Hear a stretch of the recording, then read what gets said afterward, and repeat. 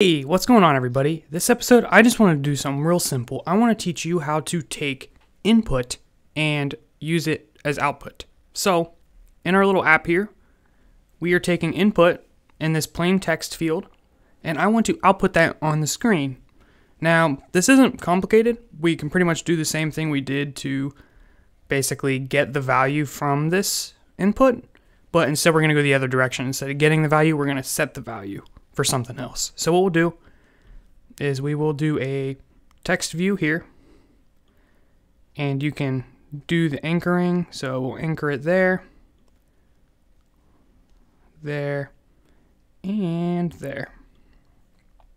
Now, on the, the button click, I want to copy this value to this. So let's give it a cool ID.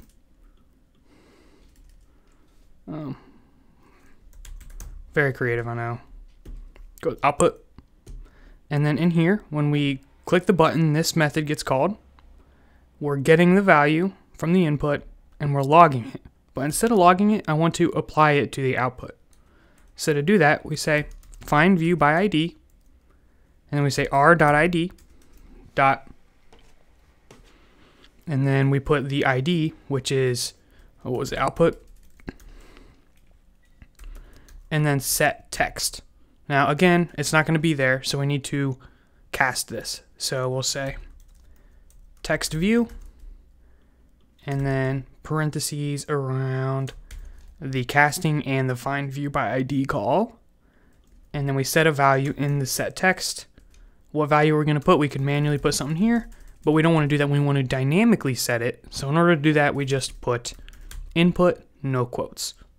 So basic Java here, this is a string variable. So when we put it here like this, it's essentially taking the value of whatever this is and plopping it right here.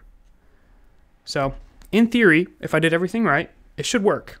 And it works the same way as this log, where we're just putting the input value for the log. It goes right here. Well, instead of doing that, we're going to put it on the screen. So let's try it out.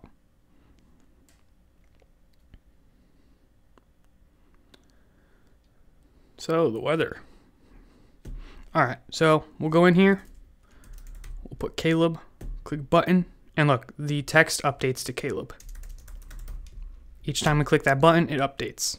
Awesome. So very simple. Awkward.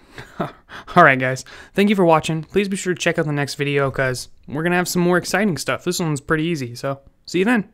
And if you have any questions, don't forget to comment, start a discussion. All right, peace out.